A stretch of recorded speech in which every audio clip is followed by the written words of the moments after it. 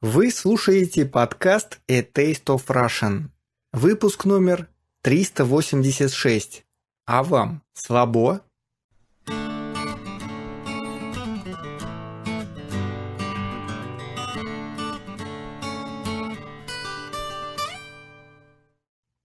Привет, друзья! Этот выпуск будет нашим последним в уходящем году. Поэтому начнем с поздравлений. Поздравляем всех вас с наступающим Новым Годом! Желаем, чтобы в Новом году сбылось все то, что не сбылось в Старом. И чтобы в Новом году каждый из нас стал немного лучше, умнее и, главное, счастливее. Ура! А сейчас давайте завершим наш учебный год с проектом A Taste of Russian последней порции разговорного русского языка. Говорить мы с вами будем о спорах и о том, что человек может сделать наспор. Обратите внимание на ударение во фразе «наспор». Оно приходится на предлог «на», что довольно нетипично для русского. Акцент на предлог можно встретить довольно редко. Начнем с анекдота. Как заставить человека прыгнуть с моста? Американцу нужно пообещать 100 тысяч долларов. Французу – любовь самой красивой женщины. А русскому нужно сказать, что прыгать с моста запрещено. На самом деле склонность к необдуманным поступкам есть не только у русских людей. Мы думаем, это вообще не национальный признак. Скорее всего, он является частью общечеловеческой ранговой игры. Человек хочет показать, что он может и умеет больше, чем остальные, а значит он лучше них и должен занимать чуть более высокое место в иерархии, так как у него более высокий ранг.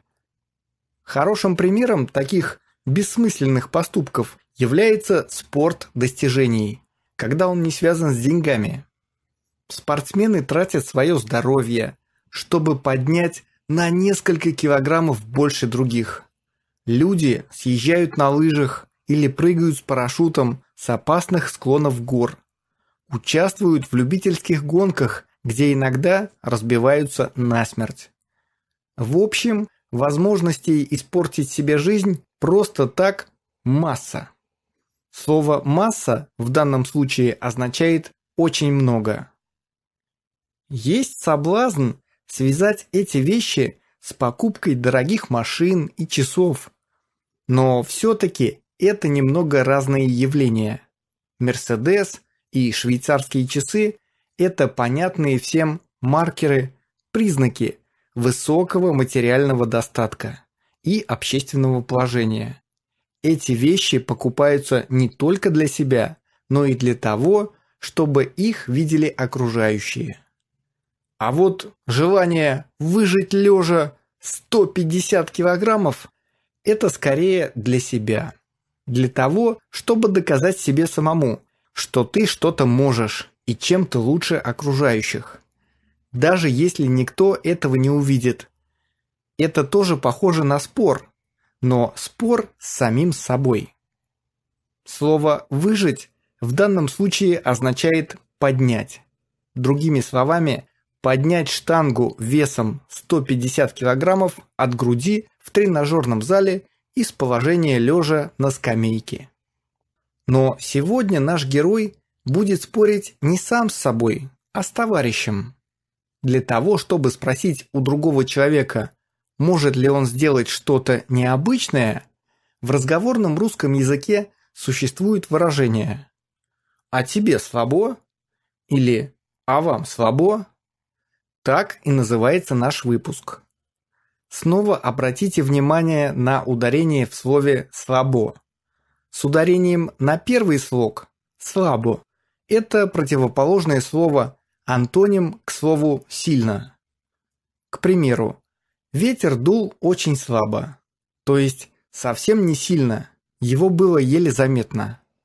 А вот «слабо» значит «а можешь ли ты это сделать?» Например, а слабо тебе перепрыгнуть этот ручей? На российском телевидении в 90-е годы была передача под названием «А вам слабо?». В этой программе жители России пытались поставить какой-то рекорд или сделать то, чего не могут другие. Лично мне запомнился мужчина, который несколько раз подряд забрасывал мяч в баскетбольное кольцо с противоположного конца поля. Наверное, такого таланта с удовольствием взяли бы в любую команду Национальной баскетбольной ассоциации США. А сейчас давайте послушаем диалог и приступим к объяснению всех непонятных слов и выражений. Итак, поехали! Степан, здорово! Идешь на корпоратив? Или сольешься, как обычно? Валера, привет! Рад бы нарушить традицию слива, но что-то прихватило меня. Ты как обычно. Все не слава богу. Ну да, пошли мы недавно на рыбалку по первому льду. К Михалычу на дачу. У него дача с сауной на берегу реки. Ну мы лунок насверлили, да поймали три окуня только. Плюнули и пошли в баню париться. Пока звучит неплохо, продолжай. Сидим мы, пиво попиваем, в ус не дуем. А Михалыч спрашивает, сколько ты в сауне просидишь? А я отвечаю, минут десять. Говорит, давай забьемся, что не просидишь. Ну а я что, мне же не слабо. Вроде десять минут, это по-божески, ничего страшного. Ага, только он натопил там, что уши в трубочку сворачиваются. Градусов 120, наверное. Ну, я шапку одел, высидел. Так он говорит, давай 15 минут. Я 15 осилил. На 20 уже не полез. И так уже тяжело было. И главное, спорили-то на щелбан. Как вспомню, сразу думаю, какой я дятел.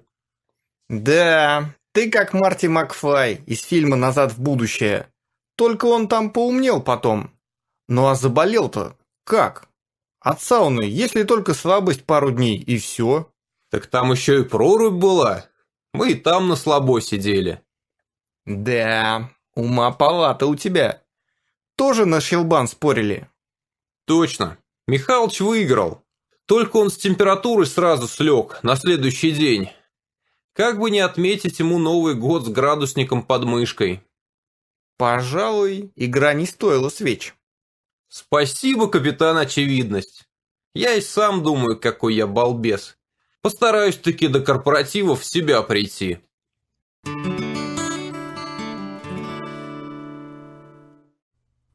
Как всегда, полную версию этого подкаста вы найдете на нашем сайте torpod.com.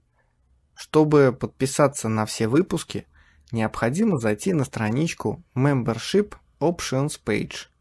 Там вы увидите массу способов оплаты, начиная от PayPal и заканчивая различными карточками Visa, MasterCard и так далее. Если у вас есть какие-то вопросы или вы хотите предложить тему для будущих подкастов, пишите нам на tasteofrussian@gmail.com. До новых встреч!